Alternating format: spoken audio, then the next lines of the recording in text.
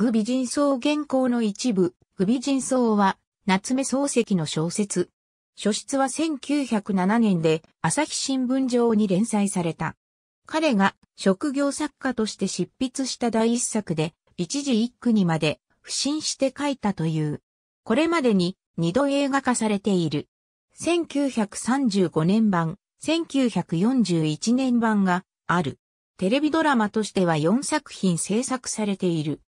上記の作品のほか、1981年に向田邦子脚本、松田優作主演の作品が制作される予定だったが、向田邦子が飛行機事故で急逝したため、実現には至らなかった。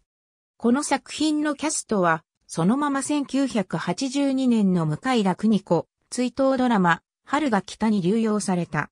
朝日 .com、朝日新聞社、特別展、文豪、夏目漱石、その心と、眼差しトピックス、朝日新聞、2018年10月27日閲覧、具美人層。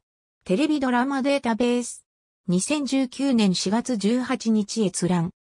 向田国子取材先の台湾で飛行機墜落事故、クリア川白村マイナス5万7027から、言バンク、漱石とシェイクスピア夏目漱石、具美人層の問題。